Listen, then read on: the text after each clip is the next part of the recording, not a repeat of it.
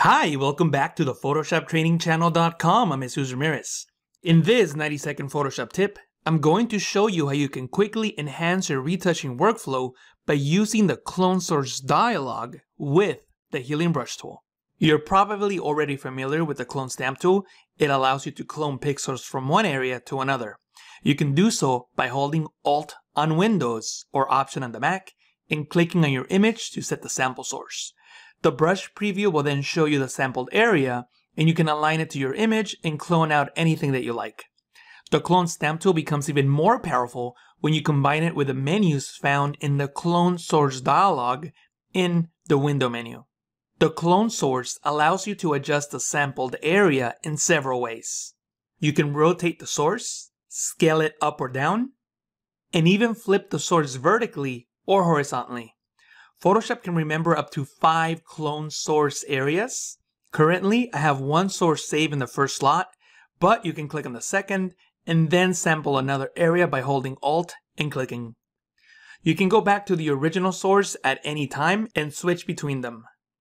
What most people don't know, and the point of this tip, is that this clone source dialog is also available for the healing brush tool. Instead of cloning pixels, the healing brush blends pixels from the source to the painted areas and it matches texture, lighting, transparency, and shading.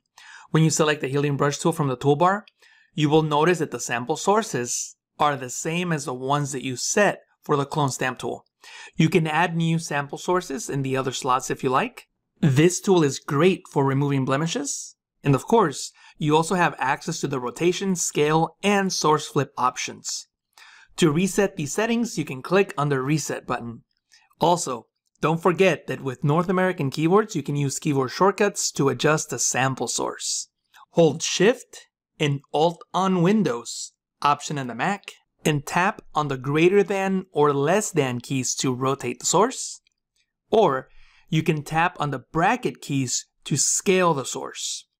If this technique was new to you and you found it useful, let me know by clicking on the like button now and by leaving me a comment down below.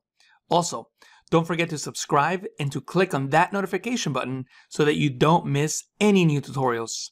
If you want to see more tips and tricks like this one, then check out all my 90 second Photoshop tips. I'll place a link right below in the description. Thank you so much for watching.